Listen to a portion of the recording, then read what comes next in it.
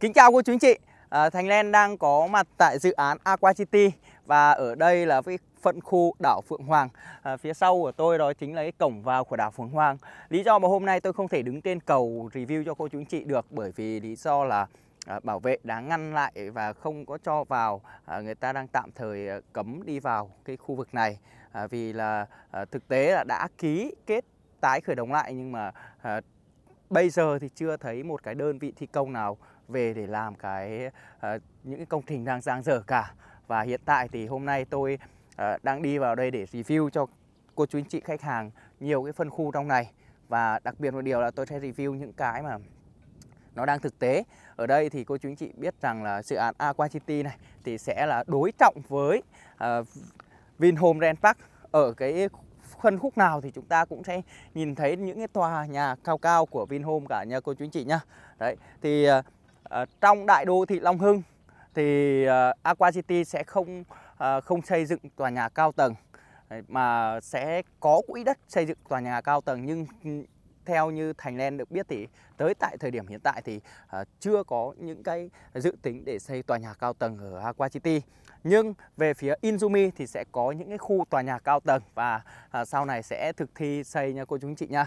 Và chắc chắn là về phía Inzumi thì à, sẽ có những cái phân khu à, cây cảnh này À, cũng như là các cái tiện ích của Inzumi Thành lên đánh giá cao vì là cái hệ sinh thái của Inzumi thì nó rất là thoáng và yêu thiên nhiên thiết kế theo phong cách Nhật Bản.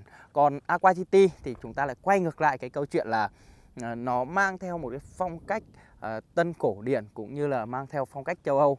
Cái thiết kế nhà nhìn rất chắc chắn và hầm hố à, và đổi lại, chúng ta có một cộng đồng rất mạnh à, một cái dự án Aqua City với nhiều phân khu và nhiều tiện ích À, đặc biệt một điều là khi cô chú anh chị à, mua sở hữu nhà ở trong đại đô thị Long Hưng sau này thì chúng ta hầu như là sống trong khu này à, cũng đã có rất nhiều cái tiện ích cao cấp rồi. Ví dụ như à, chúng ta chơi gôn thì có cả sân gôn Long Thành chúng ta đi du lịch à, vui chơi. Nếu tiện ích trong các cái khu chưa đủ cái sức mạnh cho cô chú anh chị thì chúng ta có thể qua khu du lịch sinh thái Sơn Tiên đấy. Thì đó đã là đủ toàn bộ mọi thứ rồi. Còn riêng về vấn đề trường học và tiện ích thì chắc chắn là chúng ta đã có siêu thị này chúng ta đã có những cái trường học của Aqua City sắp tới này thì chắc chắn sẽ là có những cái rất là tuyệt vời. Và về sau hương lộ 2 thông qua cầu Vàm Cái Sứt uh, thì chúng ta sẽ có những cái trường của FPT quỹ đất đã được phê duyệt và có đại đô thị đối trọng phía bên chỗ Tam An nữa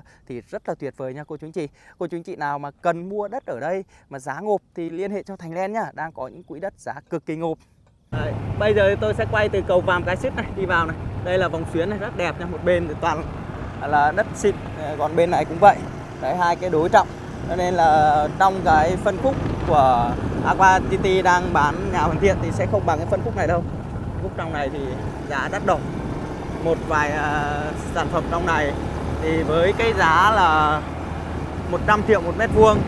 Đấy. Để cô chú anh chị biết rằng 10 mét vuông 1 tỷ 10 tỷ một ờ, uh, 100 mét vuông. Và một lô thì uh, nó rơi vào khoảng 3 40 tỷ. Vì là lô biệt thự nha cô chú anh chị.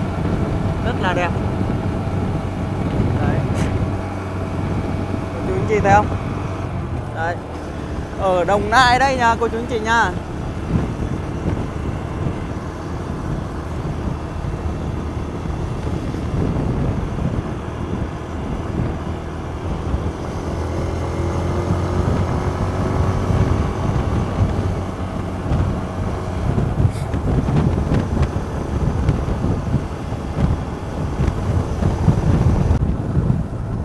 Rồi.